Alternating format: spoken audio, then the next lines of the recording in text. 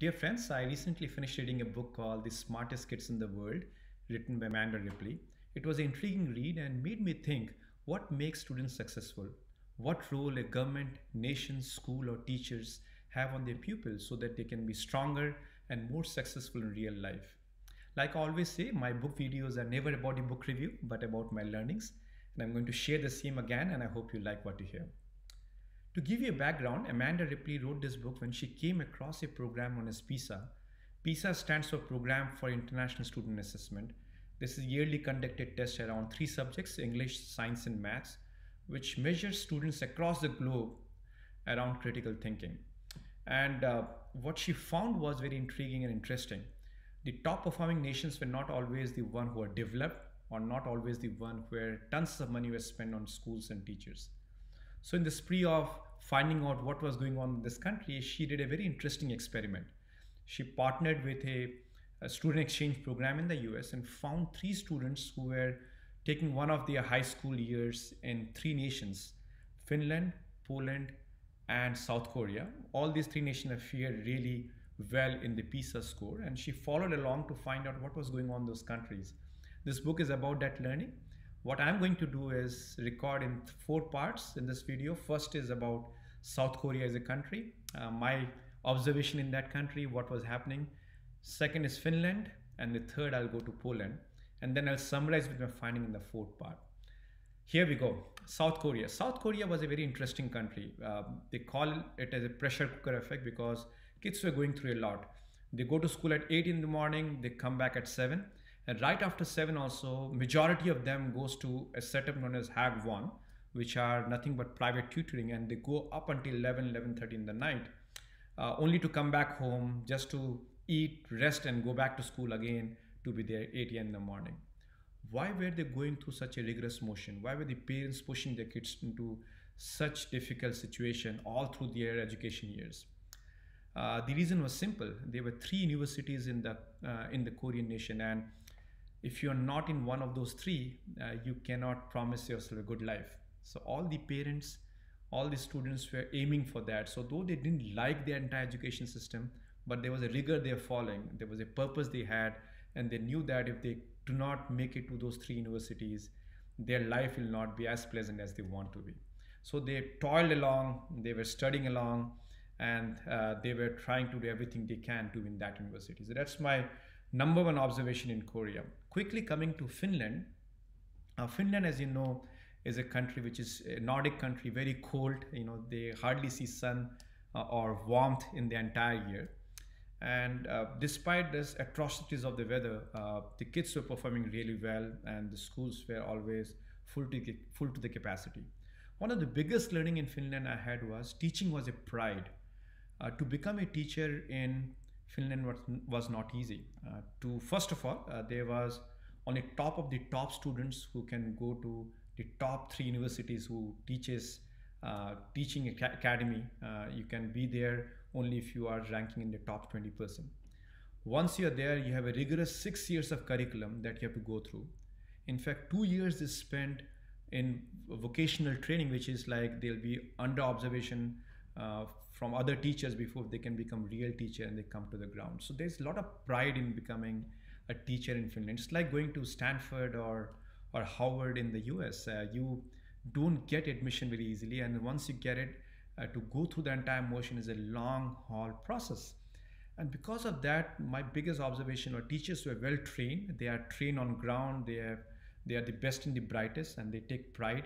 The nation takes pride. They can flag that I am a teacher, unlike some of the other countries I'll talk about, uh, where it is um, not a very prime thing to be a teacher in the country. So, what they have done very nicely is they have made a teaching profession a very intriguing one and a challenging one. Also, the pay scale was much higher as compared to what we have in the US or some, some of the other nations. So, that's the biggest learning in Finland.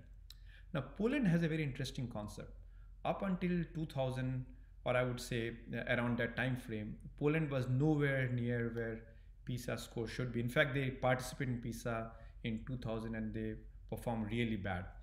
Uh, but in the year 2000, something happened. Um, one of their chemistry teacher uh, or professor who was well known in Poland, he became the education minister. Uh, Miroslaw Handke was his name, if I'm getting it right. And he came from the teaching background and he thought of bringing an overhaul change in Poland education system, much to the avoidance of the teachers, the teaching union, and everyone else. Um, he brought those changes regardless of what the people are thinking. It has four prong process. Number one, he created something known as Yellow Book. Um, that book is a Bible and a manual of what to be taught, how to be taught, the curriculum, and everything else. It was uniformly distributed to all the school districts around Poland. The second thing he did was that he made tests mandatory. Uh, one at the younger age area, and that intention was to find out where the weaknesses are so that the teacher, uh, teachers can focus on those weaknesses and bring them out of it. And second is towards the end of the high school, which was like the test to figure out which university they can go to. And that was a life defining moment for the kids. Uh, nerve wracking, sure, but that defines where the kids can go right after college. Um, and there was no subjective formation to that. You do well, you get into good universities. The third reform he brought in was he gave um, uh, what, what, what is known as a tracking system. It is very prevalent in the US as well. So, but he did tracking way up when the kids were in the 15 year range. And at that point in time, he was tracking kids in terms of the uh, the kids in the right focus area they're figuring out which area they need to be and then they're tracking them so they can be successful in that area. And after doing that the fourth he did is he gave autonomy to teachers. He made the teaching standards high and he gave reward and a penalty mechanics of who are doing well. And teachers who um, were given a lot of autonomy in terms of based upon the yellow book yellow bible what they can create as a curriculum for the teachers or for the students. And the results were uh, absolutely amazing in the PISA. In 2000, accidentally they enrolled to it, and that's the year the reform came in. So the kids were still in the old school mode, and they performed really badly. I think uh, in maths they were 21st nation, English they were I think about 18th nation. Three year down the line, when the first batch of this new education system coming into play, they improved dramatically. You know, their the math came up came back to 18 from 21st. The English went up to 13 uh, and then they were retested, and as they were going through the test in 2009, they were in fact one of the top scoring nation. Again, my learning from there is, you know, when the government takes control and push through a particular mechanics of working, it kinds of, you know, even if there are a lot of opposition, it worked out. Now, before I go into my learning, I just want to compare this with the US, the country I belong to, and some of the aspects of it, that why it is important uh, to think about education in a different manner. The first and the foremost thing that I want to highlight to you is that in the US, um, sports is a very important aspect in school. Um, education is, but sports as well is. So a lot of the time you'll find that teachers in public school, um, they are mostly having a dual role. They'll be a coach, for example, for a football team, and on the side hustle, they will also teach mathematics. Now there's a problem to that because their prime objective in getting in a school most of the time is to coach, to uh, to uh, be a coach in a particular discipline, and subject comes much later. So, for example, you know, a teacher with a GPA of 2.5 on maths, but if he has a good football career, can become a football coach as well as a math teacher. So the entry barrier is very low. That's number one thing that I have observed and I wanted to highlight that back to you. The second is there is no so-called rigor and it's not that people have not tried in the past. In Oklahoma, for example, uh, you know, it was tried vehemently, I think the year 2003, 2004 timeframe, but it didn't see much success because there are a lot of political battlefield, a lot of unions, a lot of county level control, state level control, the multi-layer of government uh, who want uh, different objects in different perimeter. They believe that if um, education has test, for example, as a rigor, most of the students will fail and they will be torturous to the student. You know, they will be mentally challenged, and hence it was okay for them not to fail in school but to fail in real life. Uh, that's the reason you see a lot of high school dropout. That's the reason you see a lot of people not attaining college because they're not ready for that. The third and the most important thing I learned was involvement of parents, and I'm going to conclude that towards the end as well. Uh, the involvement of parents in the US was much higher, but again, you have to see how it is different from a country like Finland. In Finland, also parents participate, but not in school. They are not raising funds. They are not cheering their kids for sports. Um, they are there for a purpose to make sure that the kids are successful. There are a lot of freedom given to kids. Parents are not sticking along, but they are very serious about their education. Uh, so is in South Korea and other Asian nation. Uh, so involvement of parent in what regard is most critical as well. Uh, the next thing that I wanted to highlight is um, in terms of uh, praising kids in US it was very very uh, distinct. For example, uh, you know kids are praised quite a lot, and there's a difference in praise and flattery, and that's that we all need to understand. Uh, sometimes as growing up kids, it is okay to be saying to the kids that you're wrong so that they can correct themselves instead of flattering them for things that may not have achieved just to make sure that they feel good. I think that flattery part is much more obvious in the US and the curriculums were much more lenient as against some of the other nation. So what are my learnings? My learnings are in fivefold. Number one learning that I have was a rigor is important. Kids can do much, much more better than what we think. And uh, all those notions that we have in some of the developed nations that no, you know, if you put them through a rigor, they'll be mentally torturous. Uh, you know it, it will give them hell. You'll take the kid away from their childhood. Well guess all of those doesn't hold true. In the 21st century for example even if you want to be a mechanic you need to know how to read a manual. Maths it's so very important so uh, it's no longer that the blue collar work is all about you know you, you just need to know step a to step b there are a lot of complex you need to know how to read a drawing you need to know how maths work and everything comes together. If you want to, let's say, for example, a video game which is so very popular in the US, video game, if you want to be, become a video game developer, you need to know many things. You need to know geometry because there are shapes. You need to know calculus because that's change. Unless you don't learn that, you cannot be a video game developer, for example. So it's so very important that rigor is there and rigor is very important. And rigor comes with test, rigor comes with slapping them on the hand if they are not wrong. Rigor comes them to fail early, but then arrest them quickly so that they can succeed in their later part of the life. Right now, what we are doing is in most of the countries or in schools, we are making them go easy in the early life so that they can fail in the real life. Number two, learning. Number two, what I want to highlight is it is it is very critical and uh, important that how parents get involved. Um, you know, this is a very fine balance between how parents get involved. Understand that kids spend a lot of time at home as well. Uh, it is important in the early days of their bringing reading to the kids so that their vocabulary, you know, they see a forum of where the parents are reading and they're reading to them that can go up. Similarly, you know, helping them out, asking them what is happening in school, making sure that they are doing their homework, ensuring that they are involved in the educational journey. As they grow up, become more uh, you know, uh, in their younger days and as they become young adults, give them freedom. Uh, but at the same time, uh, make sure that uh, I'll let them fail, but make sure that their boundaries defined.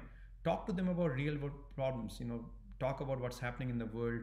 Uh, you know, talk about the news. Talk about different aspects of life. Challenge them. You know, treat them like an adult so that they can have their growth path accordingly move away I, it's it's important i think sports is critical and important i'm not taking that away but move away from only be a cheering parent to more of an involved parent so there's a second lesson i've learned which i wanted to give back to you the third aspect is unless and until um, i think let me take it back sports in finland and and south korea just to give an example was there but not out of the school school were very focused on education is it right or not?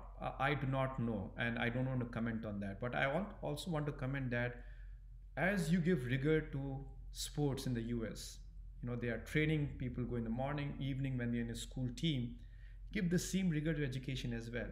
Just like there is no fallback on sports we have seen in the US, there should not be any excuse given in education as well. So that's the third thing that I wanted to highlight. The fourth thing is that, in a, that's very important for us to know. This is a very critical point I'm going to talk about. Is let's say if you are not good in reading, uh, you know, in the early days, let's say you have not read, your kids have not read. There's always a scope of improvement. You think, right? So you you say that look, you may not have read, you read now, you can improve. The same cadre we don't use in maths. Maths, you say, oh, he, he or she doesn't have an analytical mind, so you know maths is not for him or her. That's a very wrong statement. Uh, we underestimate our kid. Maths is a very interesting phenomena because maths builds up. So if you do not know your chapter one, you cannot jump to chapter four without knowing chapter one or chapter two. So you have to build up. You need to know your numbers. You need to know your, let's say, quadratic equation, your algebra before you go into calculus. You just straight away cannot jump onto calculus. You need to know all those subjects as you build upon it. And in maths, usually what happens, you get a bad teacher or you're not having interest in early life. You missed, for example, let's say algebra or your geometry, and you now in a calculus class and you're completely lost. So it's a build-up exercise, and just like we say in reading, you can improve. We have to bring that culture back in our uh, in our world as well, where we have to say that look, it's okay if you have failed before, but you can always improve in maths as well. Do not give away maths because maths is required in everything even if you're not going to pursue math in your graduation undergrad and otherwise have math in your subject as i gave a few examples before as well. That's another critical aspect that i want to bring to play.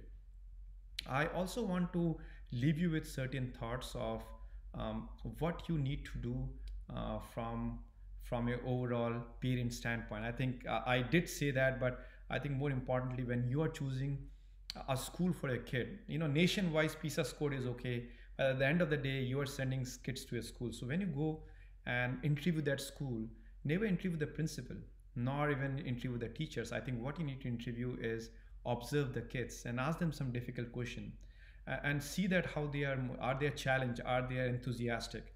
Um, don't get uh, misjudged if a class is chaotic when you're doing observation that the school is bad. They may be having a group discussion but ask those questions to kids. See that how kids are performing in that school uh, to measure the success. Success is not about uh, how educated the teachers are or how educated principal is. The the product is the students and you need to see that as a parent that i want to leave you with. Um, and also when you're asking the principal um, the tough question you should ask is what is the teaching career you have for your for your teachers? Um, how do you ensure that students are uh, always enthusiastic in class and so on and so forth. I hope you found uh, this particular video very interesting. Uh, this book is a great read. I will highly recommend you to read. So I have not covered everything and anything from the book, but as you read through, you will understand uh, why education is so important and the early years of education for our kids are so very critical and bringing them in the right form, involving you into the entire game and giving them a shape is absolutely critical for a success of tomorrow. So with that note, I leave you with this video. Hope you like what you heard and I look forward to your feedback and comment. Take care now. Bye.